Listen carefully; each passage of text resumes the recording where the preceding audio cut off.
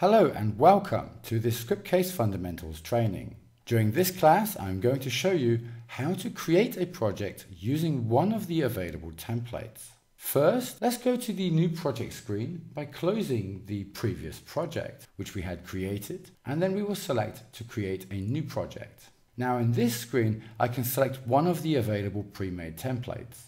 Scriptcase offers more than 10 application templates such as the CRM, help desk, online shop, and others. They should really be used as a guide or to learn from. They can be customized further to follow the specific business rules you may need in your own project. For this example, I will select the healthcare template. Just as in the previous blank project I had created, I can apply or change the project name as well as the project description. I could also include the additional information or change the icon if I so wanted. Moving forward to the database settings, I have the option to use a SQLite database, which is a database file stored inside the Scriptcase directory. I can also use another database if I want to. Scriptcase will create it and provide all the relevant tables and data for the project. For this example, I will do exactly that. Selecting MySQL will then open the connection details.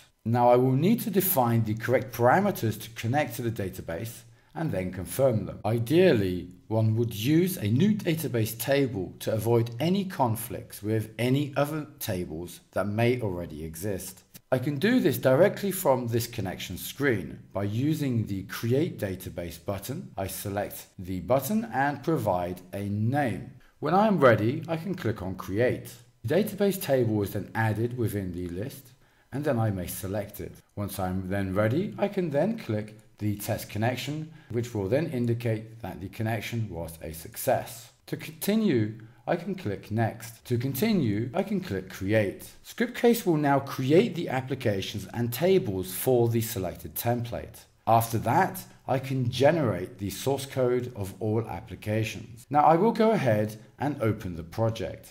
What I have now are all the applications created by Scriptcase for this healthcare template or project. All applications listed here are related. Now I will show you the tables that were created in the database. For this, I will use the Scriptcase tool called Database Builder. This is a database manager inside Scriptcase that enables you to navigate through the database used in the connection that you create for the project. So let's first of all go to database and then database builder. After that, I need to select the connection that I am going to navigate through and make my selection. Here I can then select the table and then I can view the tables generated by Scriptcase when I created the healthcare project and its related database.